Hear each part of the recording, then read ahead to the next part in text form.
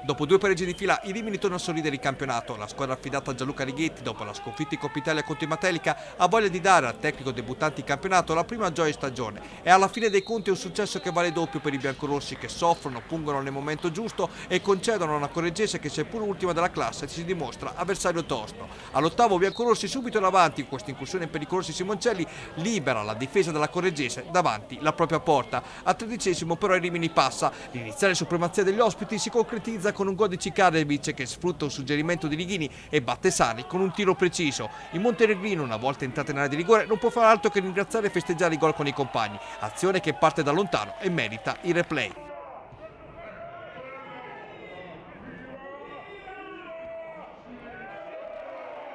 Al 23esimo traversone di Mammetti giù allontana, Gallappi riprende e calcia a botta sicura, Scotti vola e alza oltre la traversa. Le crimini un giro di lancette più tardi per i padroni di casa per un intervento di mano su un pallone agganciato da Mammetti. L'arbitro fa segno di proseguire. Il replay forse ci dice qualcosa di più. Al 25esimo Sereni punta giù, lo salta e va al cross basso, provvidenziale l'intervento di Brighi che anticipa tutti. Al 48esimo, al terzo minuto di recupero, ci prova Tagliavacche. Scotti respinge e termina qui la prima frazione con le squadre a riposo sullo 0-1. Nella ripresa al quinto, la Correggese va in rete. Sugli sviluppi di una punizione, ma mette in becca Rizzitelli, che batte Scotti. Correggese 1, Rimini 1, esultanza meritata per l'ex attaccante della Ribelle. Il Rimini torna finalmente a farsi vedere all'undicesimo dalle parti di Sari che deve intervenire su una conclusione di Variola, pallone bloccato senza problemi. Al dodicesimo risponde subito una curiaccia correggese con Tagliavacchia il cui tiro dalla distanza sfila alto di poco.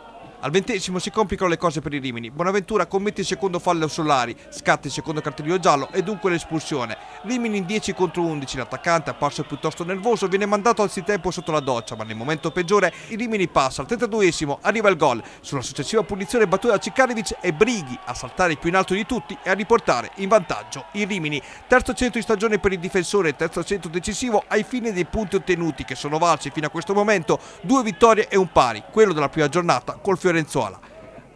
Al 34esimo la Correggese prova a reagire alla mazzata, il colpo di testa alto di Puca rimane l'unico tentativo verso lo specchio della porta difesa da Scotti. Infatti dopo 6 minuti di recupero l'arbitro fischia alla fine, il Rimini sbanca il Borelli di Correggio al termine di una partita molto combattuta che ha visto i biancorossi di Righetti prevalere in 10 contro 11. Esordio positivo per il nuovo tecnico che ha preso il posto di Muccioli, successo importantissimo se si considera che è stato ottenuto per l'appunto in 10 uomini.